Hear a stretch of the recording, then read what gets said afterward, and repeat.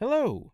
Today I want to draw your attention to an important part of the Hangouts chat interface inside Gmail.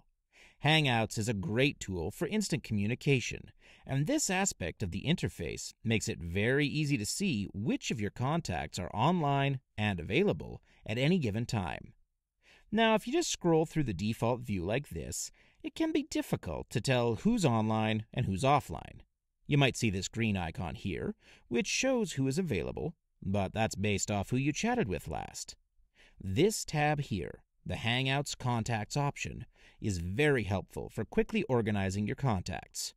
When you click on this icon, it organizes your contacts in alphabetical order, broken into those who are available at the top and those who are offline or unavailable down below. That means it typically only takes seconds to search out a specific contact and see if they're online and free to chat or otherwise unavailable.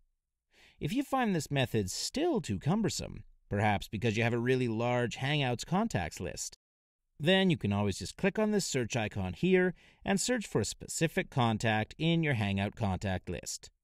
Hopefully, you found this little introduction helpful. If you have any questions, feel free to leave them in the comments section below. Thanks for watching, and have a great day.